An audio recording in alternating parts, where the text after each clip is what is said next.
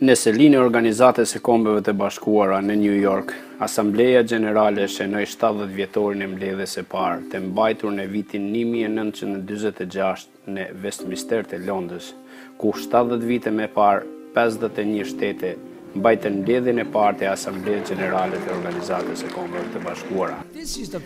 Duke folur për rëndësinë e Asamblesë Gjenerale, Sekretari i Përgjithshëm i Kombeve të Bashkuara, Ban Ki-moon, tha se, Edhe pse neve shpesh herë na duket se rezolutat e adaptuara nga Asambleja Gjenerale nuk japin rezultatin e menjëhershëm,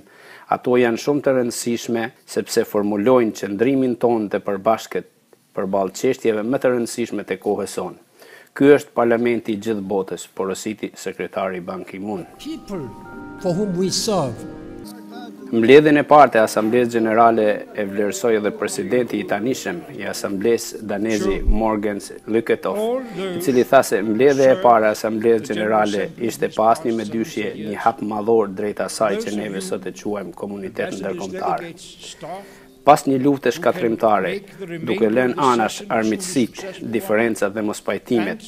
pesëdhjetë e një kombe zgjodhën rrugën e vërtetë për arritjen e paqes, sigurisë, drejtësisë dhe drejtave njerëzore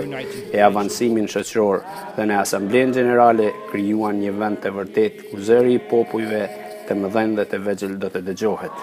Duke potencuar disa nga arritjet e vitit të kaluar, Sekretari Ban Ki-moon dhe Presidenti Lykketoft siç janë agjenda e veprimit në Adis Abebë, agjenda për zhvillim të qëndrueshëm deri në vitin dy mijë e tridhjetë dhe Marrëveshja e Parisit për ndryshimet klimatike.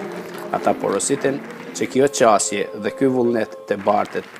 edhe në vitin dy mijë e gjashtëmbëdhjetë. Për Radio Televizionin njëzet e një, nga Nju Jorku, Halil Mula.